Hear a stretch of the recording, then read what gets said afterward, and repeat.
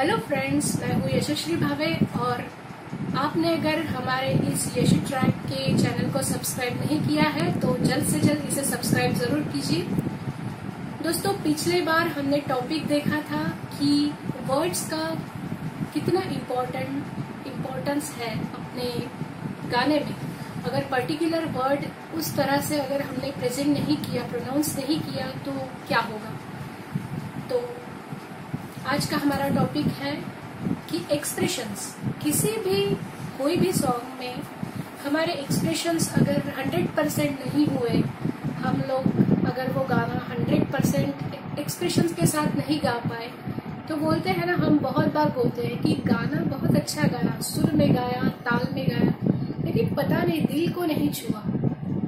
तो ये दिल को छू लेने वाली बात जो है, वो आती है एक्सप्रेशन से। यस मैं वो आपको खुल के थोड़ा सा बताना चाहूँगी कि एक्सप्रेशन क्या है। अगर आपने हमारा पहला इससे पहले वाला वीडियो अगर देखा नहीं है तो नीचे डिस्क्रिप्शन में इसकी लिंक दी है तो आप इसे ज़रूर देख सकते हैं। चलिए आज के टॉपिक पर आते हैं कि एक्सप्रेशंस क्या होते हैं। हर एक सॉन्ग में एक्सप्रेशंस का भी बहुत बड़ा महत्व होता है। uh, कोई भी सॉन्ग चाहे वो किसी भी मूड का सॉन्ग हो हैप्पी सॉन्ग हो सैड सॉन्ग हो, या तो फिर एकदम पैपी नंबर हो डांस नंबर हो, मस्ती भरा सॉन्ग हो, किसी भी टाइप का अगर हम सॉन्ग लें तो वर्ड्स के साथ साथ म्यूज़िक के साथ साथ एक्सप्रेशंस इज़ इम्पोर्टेंट फैक्टर तो हमारा सॉन्ग अगर अच्छा होना है, अगर होने की हम इच्छा रखते हैं तो उसको हम थोड़ा एक्सप्रेशंस की तरफ़ भी थोड़ा ध्यान देंगे तो वो डेफिनेटली हंड्रेड परसेंट लोगों तक पहुंचेगा। और ज़रूर आपका सॉन्ग लोगों को पसंद आएगा। ये जो लोग प्रोफेशनल है और जो लोग असमली गाते हैं, उनके लिए तो ठीक है, लेकिन जिन्होंने अभी अभी बिगिनिंग किया है, जो बिगिनर्स हैं, उनके लिए शायद ये मेरा वीडियो थोड़ा काम में आ सकता है। तो हम टॉपिक पे हैं, हमारे टॉपिक पे है कि एक्सप्रेशंस मैं आपको एक एग्जांपल बता रही हूँ। एक सॉन्ग ले रही हूँ मैं। ज़रा सा झूम लो मैं। ये song D D L J का है और लीजेंड आशा जी ने कमाल का गाया है। तो अगर विदाउट एक्सप्रेशन हम ये सॉन्ग को गाए, जैसे मैं आपको एग्जांपल बताती हूँ। जरा से झूम लो मैं अरे नारे नारे ना जरा सा घूम लो मैं अरे नारे नारे ना तो ये थोड़ा रॉ हो जाएगा। अगर हम इसमें थोड़े से हमारे एक्सप्रेशन ऐड कर दें सुनिए, आशा जी ने इस गाने को कितना वो जरा सा एक जो वर्ड है, उसमें कितनी जान डाल दी और कितना औसमली गाया है ये तो सभी जानते हैं। उन्होंने देखो कैसे कमाल किया वो एक वर्ड में। जरा सा झूम लो मैं, अरे नारे नारे ना। जरा सा घूम लो मैं, अरे नारे नारे ना। तो वो जरा सा में जो कमाल कर दिया, बस बिल्कुल। तो एक एग्ज़ाम्पल है छोटा सा। तो ये तो एक छोटा सा एग्ज़ाम्पल हो गया। आप ज़रूर इस पर थोड़ा वर्कआउट कीजिए। अगर आपको लगता है कि हाँ ये एकदम अच्छा लग रहा है तो आप ज़रूर इस एक्सप्रेशन को अपने सिंगिंग में लाने की कोशिश कीजिए। ज़रूर अच्छा एक अमेजिंग एक्सपीरियंस होता है। हर एक सॉन्ग में जब एक्सप्रेशन आता है और जब लोगों लोगों की डायरेक्टली हमको वाह मिलती है, उस सॉन्ग को लेके तो वो जो एक माहौल होता है ना, वो बहुत ही औसम होता है। मैं और एक सॉन्ग आपसे डिस्कस करना चाहूँगी, जो है फ़िल्म राम तेरी गंगा मेली से हुस्न पहाड़ों का। दोस्तों, जिन लोगों को मालूम है, उनको तो मालूम है, लेकिन जिन लोगों को नहीं मालूम स्पेशली ये बात मैं उनसे शेयर कर रही हूँ कि हुस्न पहाड़ों का ये सॉन्ग बेसिकली बेस्ड ऑन पहाड़ी राग। ये पहाड़ी राग पे बेस्ट है ये सॉन्ग और इस गाने में तो कमाल ही कमाल है। लता जी का सुर, सुरेश वाडकर जी और लता जी का बेहतरीन ड्यूएट बोल सकते हैं हम इसको।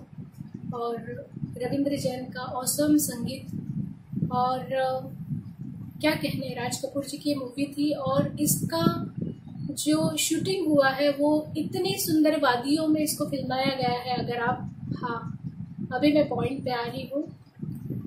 एक्सप्रेशन हमने देखे कि किसी भी सॉन्ग में एक्सप्रेशन हमको डालने ज़रूरी होते हैं, तब वो गाना जाके हंड्रेड परसेंट दिल को छुएगा। लेकिन उसके लिए और एक इम्पोर्टेंट बात बता दूँ, जो मैं अभी कहते कहते रुक गई विजुअल के बारे में।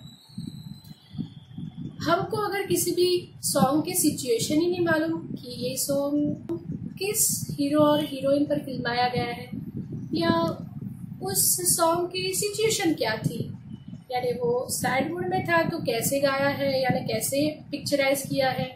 हैप्पी मूड का है तो कैसे डांस करते हुए या फिर कुछ अदर एक्टिविटी करते, कैसे उसको फिल्माया गया है? अगर ये बात हम जान लें और वो उसको हम देखें तो it will be beneficial definitely it's work तो जैसे हुस्न पहाड़ों के बारे में मैं बात कर रही थी हुस्न पहाड़ों का ये बहुत ही सुंदर तरीके से इसको शूटिंग किया गया है। और जब जब ये गाना हम लोग गाते हैं ना तो एक वो, क्योंकि हम उसको अगर हमने अगर उसका विजुअल देखा, हमने अगर उसका वीडियो देखा तो मैं ये हंड्रेड परसेंट बोल सकती हूँ कि आपके गाने में उसके फीलिंग्स ज़रूर अपने आप आएँगे, क्योंकि आपके माइंड में भी वो चल रहा है कि वो गाना हाँ हाँ वो ऐसे ऐसे शूट हुआ था, वो एक एक वर्ड वो एक एक हीरो हीरोइन के एक्सप्रेशंस कैसे कैसे उनके एक्सप्रेशन थे तो अपने आप, वो तो गाना तो है ही आखिर। लेकिन एक्सप्रेशन भी आपके गाने में हंड्रेड परसेंट आने का, मुझे लगता है कि आने के बहुत चांसेस हैं। थोड़ा गुनगुनाना इसलिए चाहूँगी ताकि लिंक मिल सके कि ये कौन सा गाना है जिनको नहीं मालूम उनके लिए।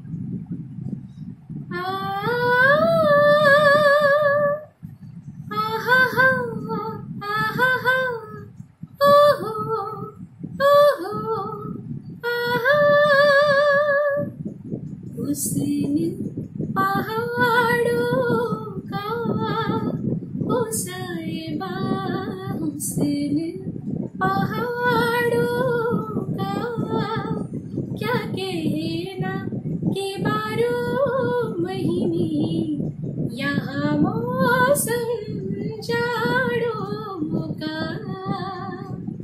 ये सॉन्ग इस सॉन्ग के बारे में मैं आपसे बात कर थी।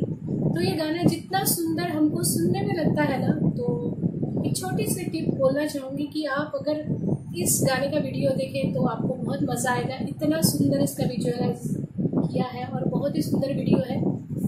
ये एक सॉन्ग के पर्टिकुलर सॉन्ग के बारे में नहीं, बात से एक बात शेयर करना चाहूँगी कि खाली उसमें पहाड़ों का कहीं विषय नहीं है। मैं आपको ये बात बोलना चाहूँगी कि आप जो कोई भी गाना गाते हो तो उसके अगर हंड्रेड परसेंट आपको एक्सप्रेशन चाहिए या हंड्रेड परसेंट वो गाना दिल को छूना चाहिए किसी के भी तो आप डेफिनेटली उसका ऑडियो तो सुने ही सुने, पचास, सौ बार, दो सौ बार, जितने भी बार, लेकिन उसके साथ और एक छोटी सी बात कि उस गाने का अगर वीडियो है, वो गाना अगर वीडियो विजुअलाइज कैसे किया है, वो अगर आपने देखा तो डेफिनेटली आपका song hundred percent full song, okay?